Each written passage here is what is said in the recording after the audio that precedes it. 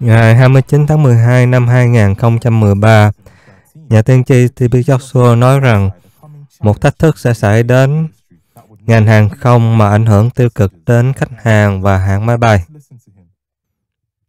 Những người mà liên quan đến ngành hàng không, máy bay, vân vân. Bạn có thể bị kẹt ở sân bay 2 hay 3 ngày mà không thể lên được máy bay để đi nơi mình muốn đi. Bởi vì nhu cầu thì nhiều hơn là cung cấp.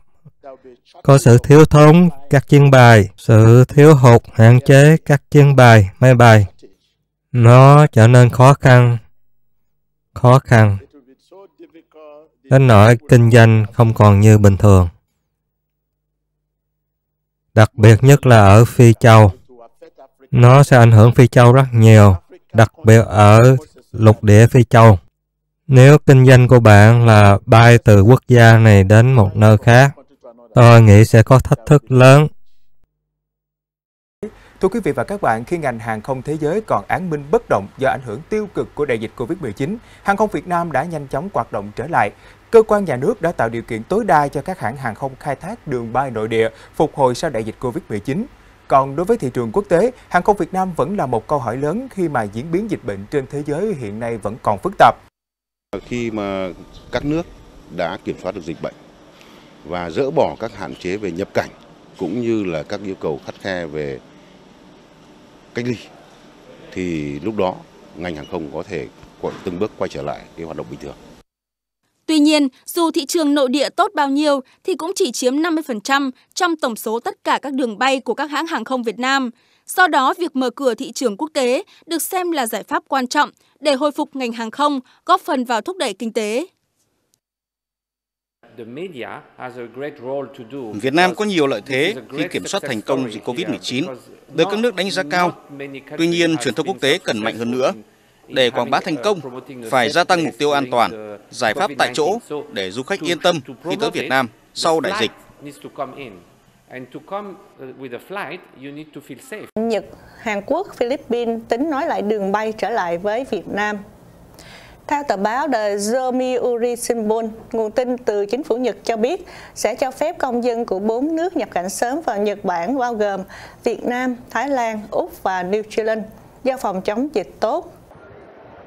Dạng sáng nay 20 tháng 5, chiếc máy bay mang số hiệu VN0088 của hãng hàng không quốc gia Việt Nam Vietnam Airlines cất cánh từ thủ đô New Delhi, Ấn Độ, mang theo 340 công dân Việt Nam đã về tới sân bay quốc tế Cần Thơ, kết thúc một chiến dịch bảo hộ công dân kéo dài gần 3 tháng.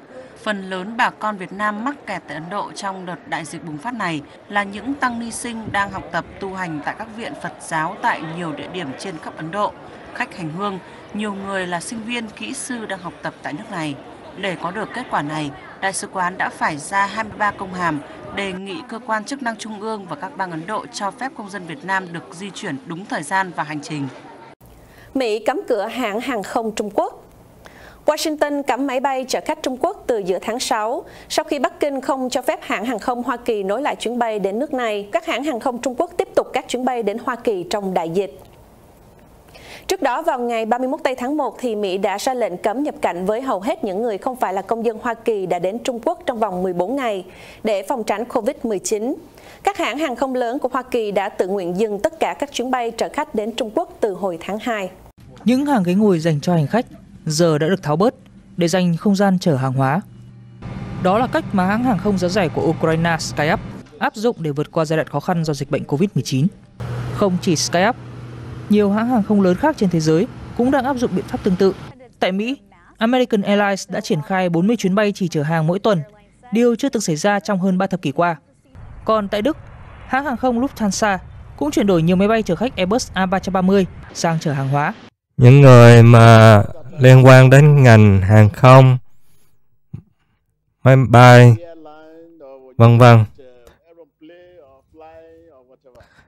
Bạn có thể bị kẹt ở sân bay 2 hay 3 ngày mà không thể lên được máy bay để đi nơi mình muốn đi. Bởi vì nhu cầu thì nhiều hơn là cung cấp.